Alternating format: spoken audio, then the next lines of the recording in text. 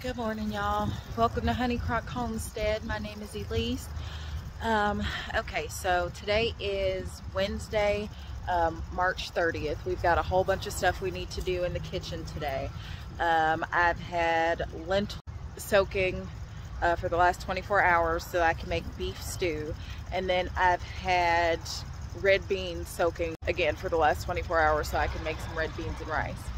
We are going to do a bunch of prep cooking today and put those away. Um, I basically, I like to make ready-made meals so that I can just pop them in the freezer and then pop them out whenever we need them.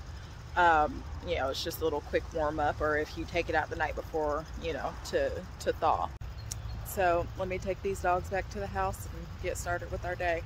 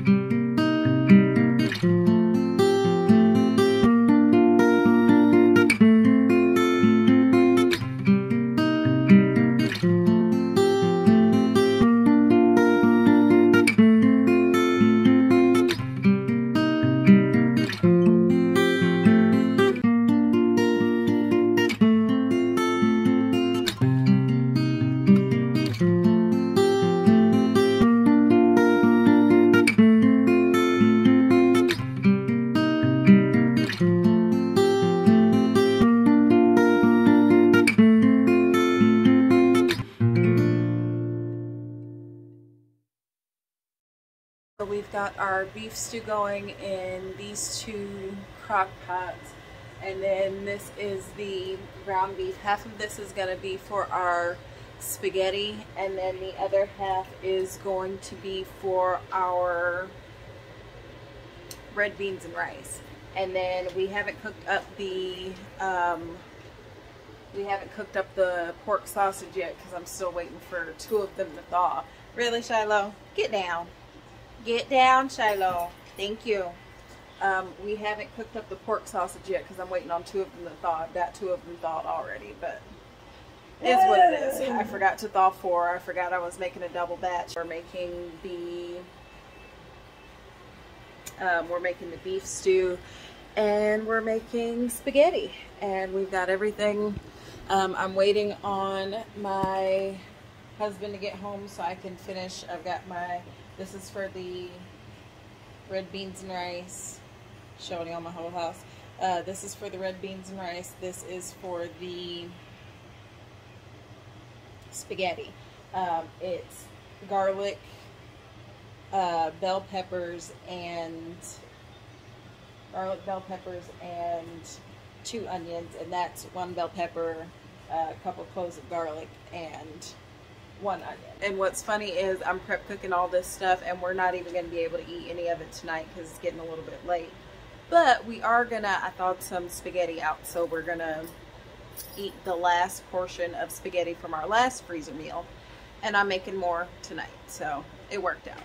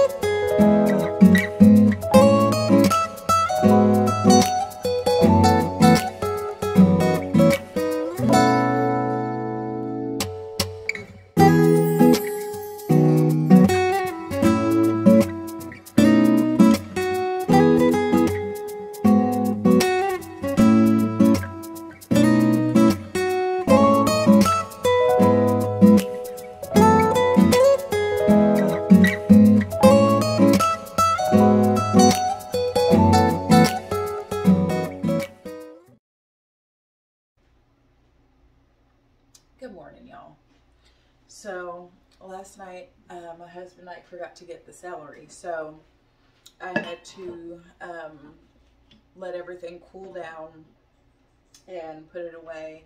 Um, let it, you know, sit in the fridge overnight. And now this morning, we're gonna go ahead and get our red beans back on the stove. Um, we finished browning all of our meat for our red beans and rice and for our spaghetti. Um, so we're gonna go ahead and get both of those things on the stove and finish our cooking today. Sometimes it happens where you don't get it all done in one day and it is what it is. Uh, thank y'all for hanging out with me.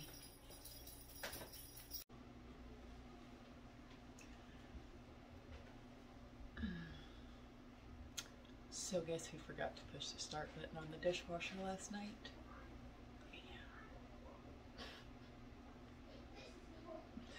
It's a y'all. Well, let's get it done. Oh.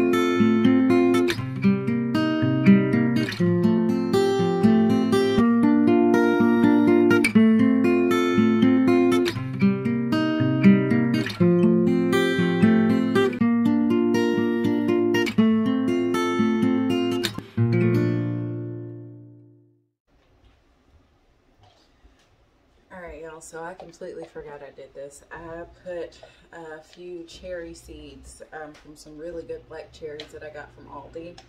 I put a couple of them to soak to get all the goo off, you know, the flesh that's left after you finish eating them. I completely forgot they were in there, but I just rinsed them off. I'm about to dry them off and then um, I'm going to let them sit out to really dry so that when I put them in a little Ziploc baggie to save, they won't put a whole bunch of moisture in the bag and then germinate because we don't want them to germinate before we're ready to plant them. So.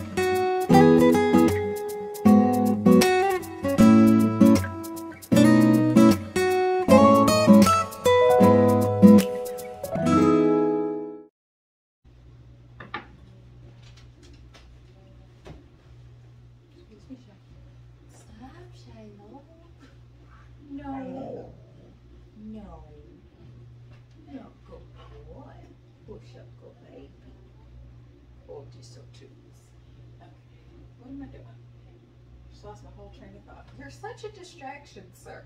What was I doing? I was getting something to put those scraps in. Oh. Y'all can't even see what I'm doing. There's so much stuff in front of me. Okay. This is the sausage and the ground beef that we're going to use for our spaghetti and for our red beans and rice. And let's move these out the way. That's a little bit better. Okay. Now y'all can see what I'm doing. Okay, so this is going in the red beans. This is bell peppers, two bell peppers, two onions, um, about eight cloves of garlic, and I'm chopping up five stalks of celery to put in there now. The celery is what we were waiting on last night.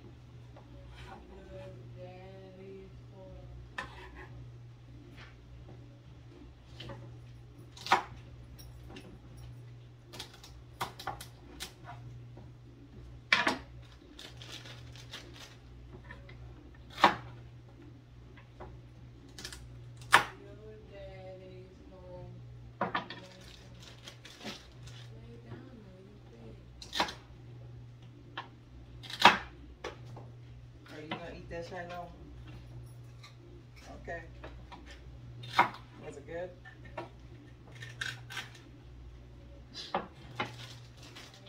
They'll eat anything that they will eat anything that drops off of this countertop and be happy for it, y'all. Alright, y'all, so just put about a half a stick of salted butter in the in the pot. Um, as soon as that comes up to temperature and melts, we're gonna go ahead and put this celery, onion, bell pepper, and garlic in there and let it wilt down. Now you wanna make sure you're only putting it on like medium low heat um, because if you put it on too high, they won't they won't wilt down. They'll more like caramelize and burn, and that's not really what we want for for this. We don't want caramelization. We don't want it to burn. We just want to soften the vegetables. So these are ready for that. All right, this is the pork sausage that we cooked up last night. We're gonna put half of it in here. And yes, I know this is technically dirty from the stuff, from the vegetables I just poured out, but I'm about to cook this with those vegetables anyway. It's all gonna get cooked together. I'm not gonna dirty another dish just to portion out this sausage. Now, we haven't started cooking down the other one, so I don't have a an already dirty bowl to put this in. So I'm just gonna, I have to dirty another bowl to put this one in. You know what? This is the sausage. That's the ground beef. I got that backwards. It just has all the spices and stuff in it.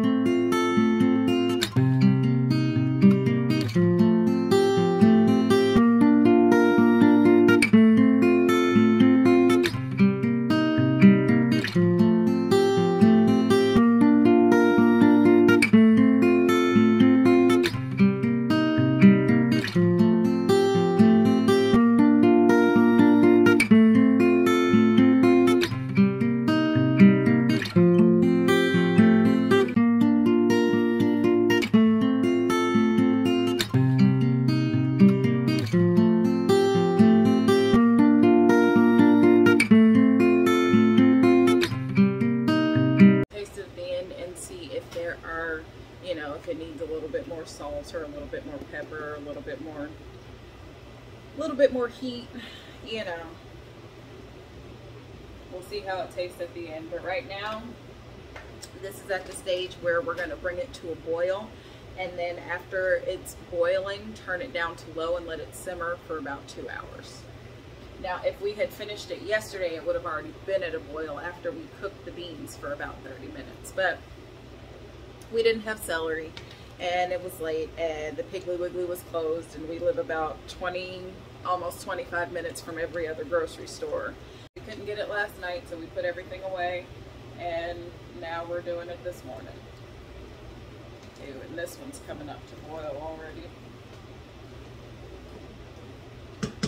I know this one's a smaller pot. I think I'm gonna order another one that's this size, but these things were kind of expensive. Like I usually get my stuff from the thrift store, but I honestly, I wanted to get new enamel pots because um, the old the old pots that we had were starting to get rust spots on the bottom and burn spots on the bottom and everything I was cooking was tasting like burnt because everything would burn so quick. And I had had those basically since we got here. I found them at a thrift store. Um, no, even before we got here, I found them at a thrift store. I decided to get really good cooking utensils and things that would last, or that hopefully will last a long time. And these all had like five star reviews. So Oh, this one isn't on. I'm sitting here talking to y'all and I haven't turned this one on. It, that's why it's not up to boil. And this one almost is. Okay.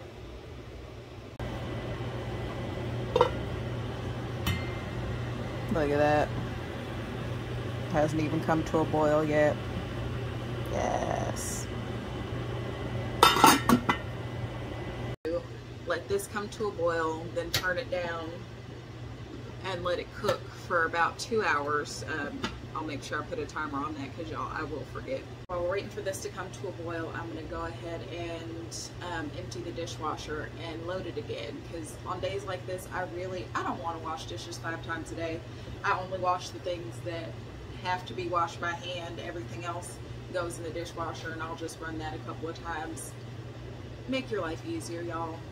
If you can, if you got a dishwasher, apparently it uses less water too, so than washing by hand.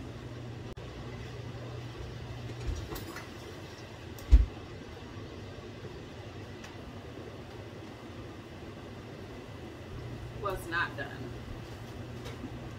It's not done.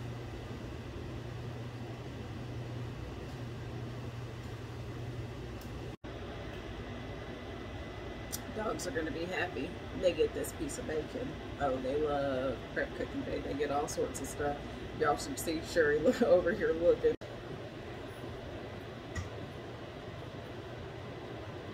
Sit. Excuse you.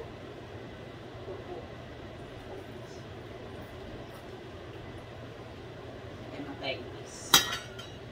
My babies get good stuff on prep cooking day. So I think what I'm going to do from now on um, is the day before I'm going to, uh, day one I'm going to brown all the meat, chop up all the vegetables, and put the beans to soak overnight.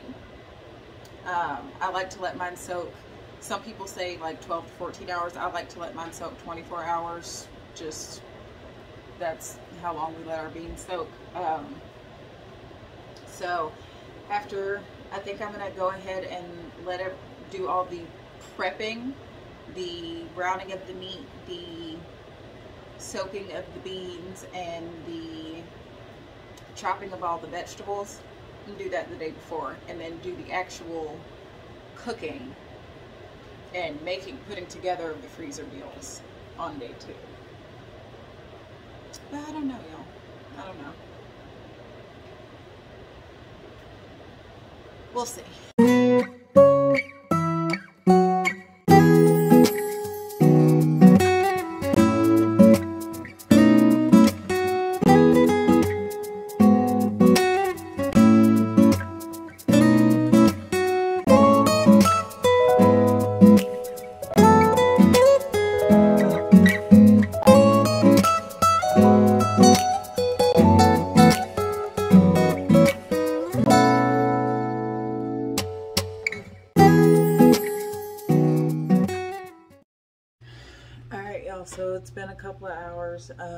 We are we are making our or about to put on our vegetables for our spaghetti um, and go ahead and ladle our red beans and rice um, which we let cool just a little bit so that it's not too hot to handle when we put it in the jars. Um, so we're going to put this in our jars over there. We've already put our beef stew. We've already put our beef stew in the freezer. So let's go ahead and get this done. Get this on the stove.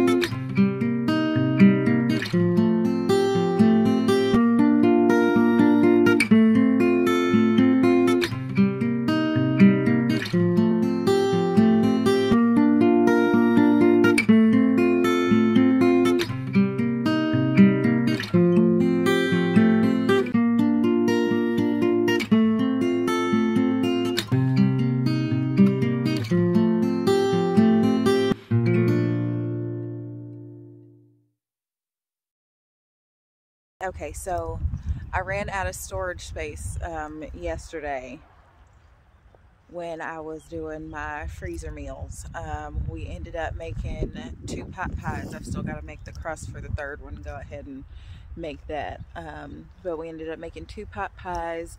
Um, we ended up with five quart jars of beef stew. Um, beef stew is yummy. Um, but we actually ate one of those and then we ended up with 12 jars of beans and rice and then no we had six jars seven jars of spaghetti. So we ended up with quite a few freezer meals. Um, I guess I can show y'all in my deep freezer uh, where they all ended up. All right y'all. So I said I was gonna show you guys the finished freezer meals so these are the pot pies, and there are three of the pot pies in here in the freezer. And then here's the spaghetti. And we've got seven of these spaghetti quarts. And then the red beans. And we've got 12 of these and then this is the box that the canning jars came in. Um, and under there is the rest of the red beans and then the beef stew that we canned. Um, we didn't can it. We just put it in a jar and froze it. But anyway, thank y'all for hanging out with me on this kind of disjointed freezer meal journey. Get back down in there. Y'all have a blessed day.